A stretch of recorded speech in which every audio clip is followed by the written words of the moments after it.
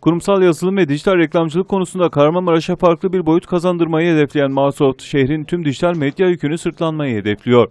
Daha önce pek çok projede yer almış ve bu projeleri başarılı bir şekilde sonuçlandırmış olan yetenekli, yenilikçi, güncel kalmayı bilen ve müşteri sorunlarına kısa sürede çözüm üretebilen, personeliyle uzun vadeli istikrar sağlayan Microsoft, teknolojideki tüm ihtiyaçları analiz ederek tamamen çözüm odaklı çalışarak sektördeki eksiklikleri gidermek için Kahramanmaraş'taki hizmetlerine devam ediyor. E, tekstil alanında olsun ya da diğer alanlarda olsun e, bazı yazılımlar kullanılıyor. PLC diye bir yazılım o ekranlarda. Biz onların programlamasına geçeceğiz yaklaşık 6 ay sonra. Mevcut yeni kurulan ve kurulması planlanan firmaların kurumsal kimlik, web ve otomasyon yazılımlarını sıfırdan üreten Microsoft, firmaların tüm dijital yükünü sırtlanmayı hedefliyor.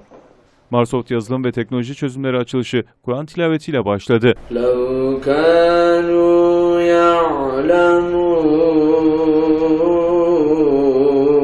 Gerçekleşen açılışın kurdela kesimi ise Müsiyat Kahramanmaraş Şube Başkanı Mustafa Bulut tarafından gerçekleşti.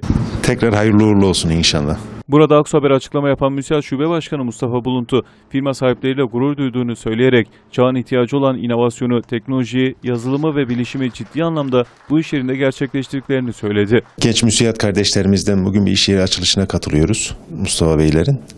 Ben tabii bunlarla gerçekten gurur duyuyorum. Çünkü çağımızın gerçekten şu an ihtiyacı olan inovasyonu, teknolojiyi, yazılımı ve bilişimi ciddi manada bu iş yerinde gerçekleştirmiş durumdalar.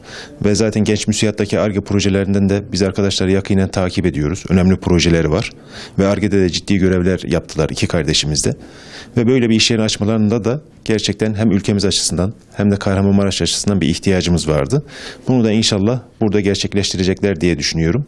Kendilerine hayırlı uğurlu bol kazançlar diliyorum.